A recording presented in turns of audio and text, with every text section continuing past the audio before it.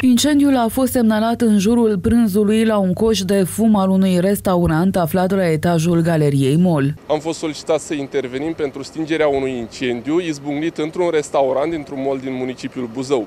La fața locului s-au deplasat două autospeciale de stingere și o autospecială de intervenție și salvare de la înălțime. În momentul sosirii la locul intervenției, incendiul se manifesta la un coș de fum, ardea grăsimea și funinginea depozitată de acestea, pe acesta, uh, în interior fiind degajare de fum. Preventiv, pompierii au acționat și cu o auto specială cu scară.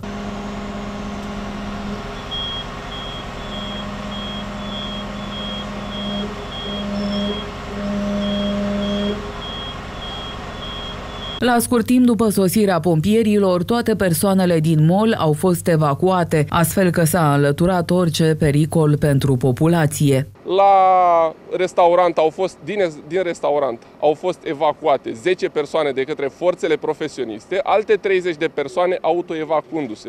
De asemenea, din incinta molului, toți clienții au fost scoși în afara oricărui pericol, în afara clădirii. Nici o persoană nu a necesitat îngrijiri medicale.